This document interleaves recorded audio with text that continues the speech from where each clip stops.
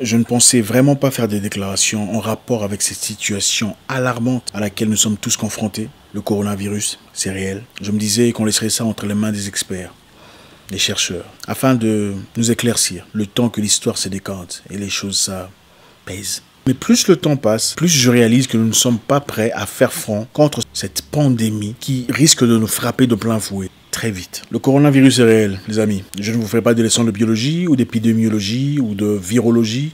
Absolument pas mon secteur d'opération. Mais nous avons tous vu ce qui s'est passé en Chine. Le drame, l'amertume, l'infortune, le chagrin, l'affliction, la peur, la mort. Beaucoup de vies ont été perdues. La Chine est une grande puissance.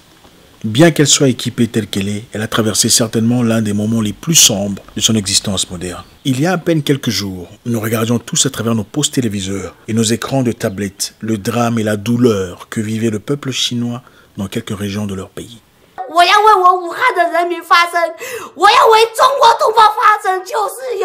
Aujourd'hui, cette maladie frappe à nos portes. Sommes-nous prêts à faire front? Avons-nous le matériel? Avons-nous la discipline de la contenir?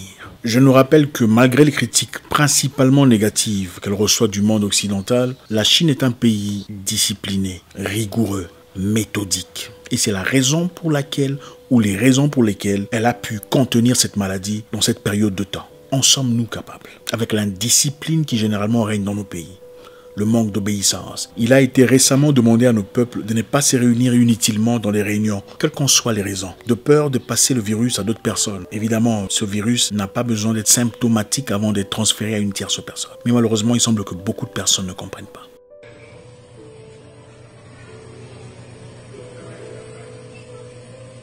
La désobéissance règne. Même le Créateur est un Dieu d'ordre. Un virus qui n'a pas besoin d'être manifesté symptomatiquement avant d'être transféré. Mais malheureusement, beaucoup de personnes désobéissent, prétendant aller célébrer un créateur qui est censé être un créateur basé sur l'ordre et le respect, surtout la discipline. C'est incroyable. Je nous exhorte en ce moment particulièrement fragile pour notre continent de manifester notre bonne moralité. Nous avons récemment vu quelques vidéos circuler sur Internet, des événements choquants où quelques commerçants malhonnêtes ont malicieusement haussé les prix des denrées alimentaires pendant cette période fragile ils se sont soulevés cet après-midi, c'est Louchois, contre cette hausse sensible du prix des farines de maïs.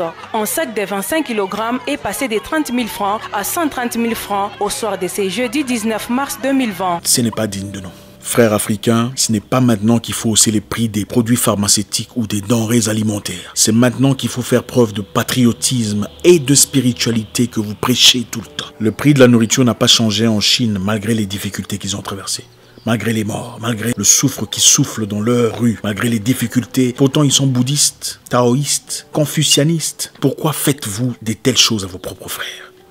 Ce n'est pas maintenant qu'il faut faire de profit. Ce n'est pas maintenant qu'il faut chercher à s'enrichir. Ce n'est vraiment pas le moment de penser à soi-même. Moment d'égoïsme. Nous faisons appel à votre conscience, à votre spiritualité, à votre éducation civique et votre responsabilité morale.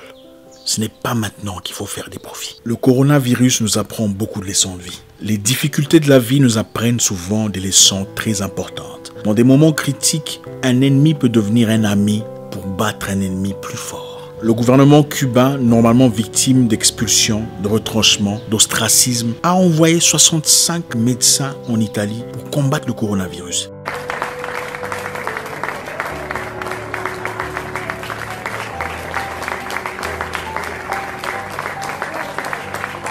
C'est comme ça que nous devons agir. Oublions nos différences pour l'instant.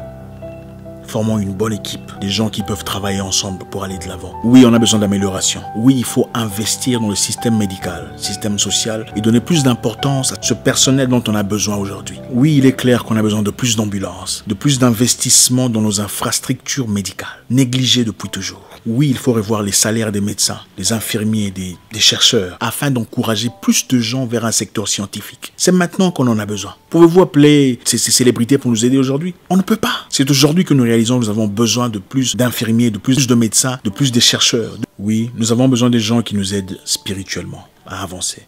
Nous avons aussi besoin, si pas plus, de gens qui travaillent dans des laboratoires, des chercheurs, des médecins, afin de préserver notre corps sans lequel on ne peut prier. Au-delà de toutes ces choses qui nous séparent, nos différences de vue, nos différentes appartenances, nos différents concepts de vie, ma vie dépend de vous, votre vie dépend de moi. Nous sommes tous un.